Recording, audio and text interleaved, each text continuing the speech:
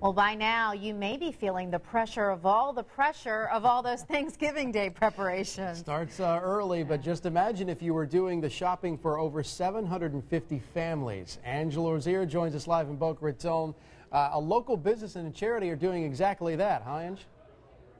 Exactly right. As a matter of fact, I'm here inside the MD VIP office building here. This is the lobby. As you can see, lots of folks pretty busy taking an extra long lunch hour today, but it's all for a good cause. You see the folks here, they've raised enough money. They've gathered enough food to feed 165 needy families here in the Boca Raton, Palm Beach County area. And all of that food will be going to the Boca Helping Hands organization. And joining me is the executive director. I'm talking to James Gavrilos. Tell me exactly what does this mean for your organization? This, this is a tremendous asset to us. Um, to give you a sense of where our need is this year, Last year, we passed out about 280 of these basket brigades. Families got the basket with the dry good plus the turkey.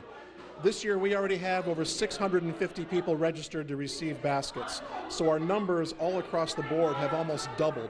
The need in Boca Raton is so high. Uh, I want to give you an example. A year ago, we were passing out roughly 675 pantry bags of groceries a month. Today, we're doing 2,500 pantry bags a month. There are a lot of families out there hurting. What MD VIP has done for us is allowed us to really serve more families this year. And you told me that the faces of the, um, the hungry is changing. Oh, absolutely. We have families registering to get these baskets that a year ago were middle class, mom and dad, professionals, educated, working.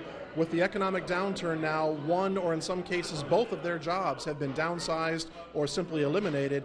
They're coming in and getting these bags. The face of poverty in America has changed and it looks a lot like us.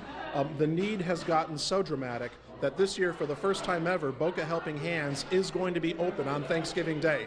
Uh, we're going to start serving turkey dinners at 12 o'clock, and we're going to serve whoever shows up. Uh, we're already registering, as I said, over 600 of these baskets are going to be distributed, plus whoever comes to receive a hot meal on Thursday. So thank God for MDVIP. With our community partners, we're doing the best we can. Thank you very much, and good luck. And once again, in a few moments, uh, the truck's going to be arriving. To be loading up all of these baskets into that truck. They'll take them over to the pantry. As you said, they'll be handing them out next week. Now, coming up tonight at 5, I'll tell you how you can help and if you know someone that needs help, where they need to go. Reporting live in Boca Raton, Angela Rozier, WPBF 25 News.